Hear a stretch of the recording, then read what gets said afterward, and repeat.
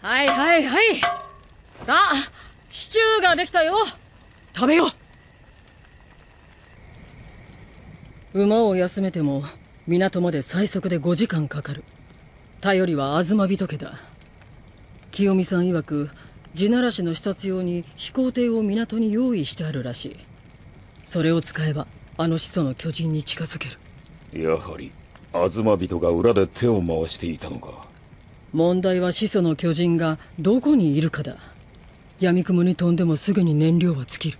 そうだ。だからこいつをさらった。イエーガーがまず向かう先はどこだ？知るわけない。知ってたとしてなぜ私が答える必要が？大陸のことを何も知らないイエーガーに知恵を貸したのはお前だ。奴は前もって地ならしの進路を想定している何らかの予想はできるはずだ。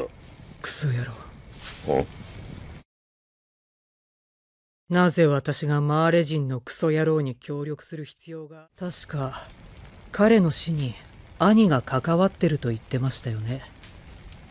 もう兄から聞いたんですか？マルコの死の真相を。私がマルコから立体起動装置を取り上げただからマルコは巨人に食われ兄は俺の命令に従っただけだ。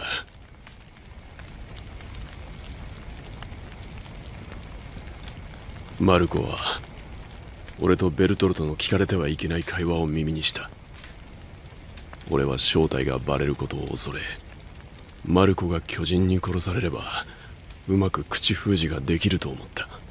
俺は空中でマルコを屋根に叩きつけ動けないように押さえつけている間に兄に立体起動装置を外させた。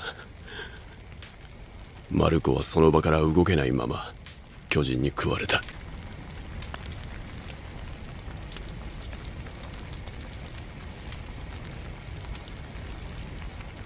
マルコは最後に何か言ってなかったか？俺たちはまだ話し合ってない。ってそうだ。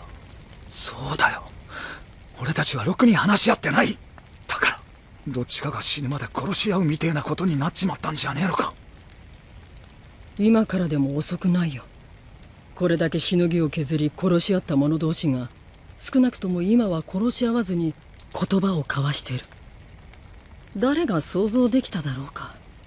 私たちが火を囲んで食事するなんて。